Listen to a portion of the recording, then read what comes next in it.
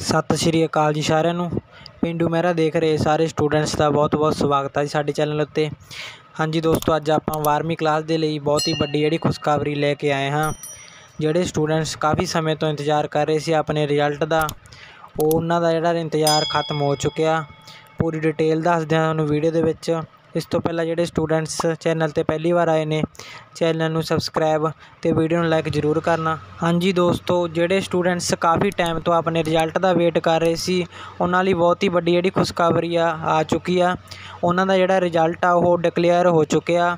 ਸਭ ਤੋਂ ਵੱਡੀ ਜਿਹੜੀ ਖੁਸ਼ਖਬਰੀ ਆ ਉਹ ਹੈ ਇਸ ਵਾਰ ਜਿਹੜੇ ਬੱਚੇ ਨੇ 96.96% ਜਿਹੜੇ ਬੱਚੇ ਨੇ ਉਹ ਪਾਸ ਹੋ ਚੁੱਕੇ ਨੇ। ਤੁਸੀਂ ਦੇਖ ਸਕਦੇ ਹੋ। ਬਾਕੀ ਜਿਹੜਾ ਰਿਜ਼ਲਟ ਆ, ਤੁਸੀਂ 29 ਤਰੀਕ ਨੂੰ ਸਵੇਰੇ 10 ਵਜੇ ਤੋਂ ਬਾਅਦ ਜਿਹੜਾ ਆਪਣਾ ਰਿਜ਼ਲਟ ਚੈੱਕ ਕਰ ਸਕਦੇ ਹੋ। ਮਤਲਬ ਕੱਲ ਨੂੰ 10 ਵਜੇ ਤੋਂ ਬਾਅਦ ਆਫੀਸ਼ੀਅਲ ਵੈਬਸਾਈਟ ਤੇ ਤੁਸੀਂ ਆਪਣਾ ਰਿਜ਼ਲਟ ਦੇਖ ਸਕਦੇ ਹੋ। ਅੱਜ ਸਿਰਫ ਜਿਹੜਾ ਟੌਪਰ ਮੈਰਿਟ ਲਿਸਟ ਹੀ ਜਾਰੀ ਕੀਤੀ ਗਈ ਆ। ਉਹ ਤੁਸੀਂ ਦੇਖ ਸਕਦੇ ਹੋ। ਬਾਕੀ ਸਟਰੀਮ ਵਾਈਜ਼ ਤੁਸੀਂ ਦੇਖ ਸਕਦੇ ਹੋ ਕਿੰਨੇ ਪਰਸੈਂਟ ਬੱਚੇ ਜਿਹੜੇ ਪਾਸ ਹੋਏ ਨੇ।